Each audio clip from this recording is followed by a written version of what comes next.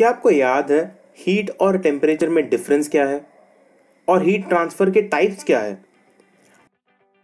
अगर आप एक बुक और मेटल कंटेनर को फ्रिज में रखें और कुछ देर बाद उसे उठाएँ, तब आपको मेटल कंटेनर बुक से कहीं ज़्यादा ठंडा लगेगा।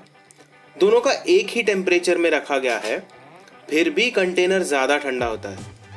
नहीं, ये कोई ट्रिक नहीं है, बल्कि इसके पीछे एक फ़िज़िकल रीज़न है। मेटल एक कंडक्टर है और पेपर इंसुलेटर इसलिए मेटल हमारे हाथ के एनर्जी को बुक से भी ज़्यादा एब्जॉर्ब करता है। और इसी वजह से बुक और मेटल को एक ही टेम्परेचर में रख कर भी मेटल हमारे हाथ के टेम्परेचर ज़्यादा तेज़ी से कम करता है और हमें मेटल ज़्यादा ठंडा लगता है। क्योंकि हमारे हाथ का जो टेम्परेचर होता है, हम उसे ही फील कर सकते हैं। इसी तरह और भी मिस्टीरियस चीज़ें, जैसे anomalous behaviour of water humidity dew point specific heat capacity और ऐसे बहुत सारे टॉपिक से रिलेटेड फिनोमिना जो हम एक्सपीरियंस करते हैं, उसके बारे में हम ज़रूर बताएँगे।